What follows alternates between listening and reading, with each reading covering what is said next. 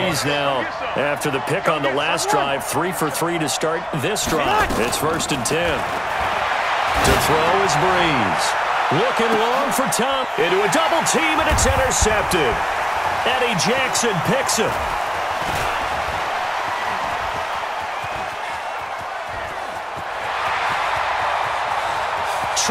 And he's free going down the left side. It's a foot race, and he will score. Touchdown, Chicago.